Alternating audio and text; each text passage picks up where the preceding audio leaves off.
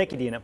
All right, the 209 is finally getting a Goodwill distribution center. The people couldn't be more excited, especially one. Right, so we're checking back in with that one. Cody Stark and his caravan continuing to learn more about this very cool facility. Hi, Cody.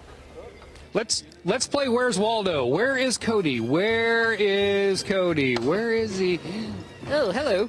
Um, uh, so this is the last spot for these items right here. So uh, earlier we showed you a big wall of stuff. They go through the stuff, and if it can't be sold, it comes out here to this area. Okay. Opens up early in the morning. People will come through, start digging through, and then whatever's left over, that's when they have to, you know, ship it off somewhere else. This is the last spot for these items, and people are digging through this morning. So tell us a little bit about this process. What's going on here? Well, we're doing everything we can to divert about 10 million pounds out of our community landfills every mm-hmm. year. And this is the last stop before it gets baled and sold to recyclers. And they can either turn those into wiper rags or remanufacture them into other items, or they can be sold internationally. Oh, I see. Oh, I see. So right now, a lot of these people are, are flippers. So they're finding stuff and then they'll resell it online Oh, I or, find it Or at a flea market, or they'll take it down to Mexico. Uh, what time does this open? Because I saw people line up to get in here. What time? 9 a.m., seven days a week. I mean, it was crazy. You're crazy. Look at all the activity, though. These are some serious shoppers. They know exactly what they're looking for because they know exactly what they're going to be flipping. That is so cool.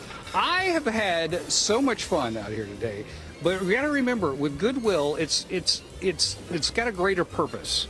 And, and I don't think we can tell people enough about that. What is the greater purpose of Goodwill? Well, we like to give people and things a second chance. So we can be a first time into the workforce after, you know, perhaps generations of welfare, or we can be a second chance after years of uh, incarceration. Um, we can be a stopping place, or we can be someone's career, like mine. in a, in a family. Yeah. In a family. I, I love how, and just spending time with you and meeting everybody that works here, everybody's so happy and everybody's so chilled and they they just seem like they really love the work and they, they know that there's a greater purpose to it. Yeah, it's not right for everyone. It's mm-hmm. hard work, but it's meaningful work. Yeah. And as I said, it, it's a career and a calling. Yeah, it really is. It really is.